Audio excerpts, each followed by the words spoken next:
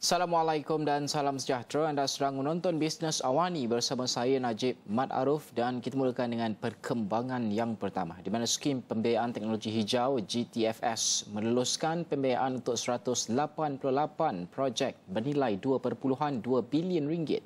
Menurut pengurusi Malaysia Green Tech Tan Sri Peter Chin Fakui apabila operasi bermula, pembiayaan yang diluluskan itu mampu mewujudkan lebih 3,000 peluang pekerjaan. Ia juga dijangka mengurangkan hampir 2.67 juta tan bersamaan pelepasan karbon. Beliau berkata projek ini juga dijangka menjana 4.43 bilion ringgit pelaburan hijau di negara ini. Ketika ini kira-kira 55% daripada jumlah pembiayaan yang diluluskan adalah dalam bentuk pembiayaan Islam.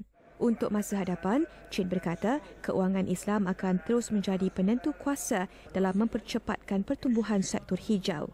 Beliau berkata ini disokong oleh reputasi baik Malaysia serta pengalaman negara dalam sektor keuangan Islam selain kedua-dua pembiayaan Islam dan hijau berkongsi nilai etika yang sama.